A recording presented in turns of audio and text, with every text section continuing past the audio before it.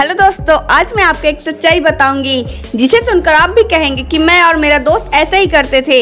जैसे इस वीडियो में ये दोनों जिराफ कर रहे हैं, बिना कोई रीजन के ये एक दूसरे से लड़ रहे हैं। और दूसरे वीडियो में तो इस कुत्ते ने कमाल ही कर दिया। शायद इसका मालिक इसे छोड़कर अपनी गर्लफ्रेंड के साथ घूमने चला गया और इससे बर्दाश्त नहीं हुआ।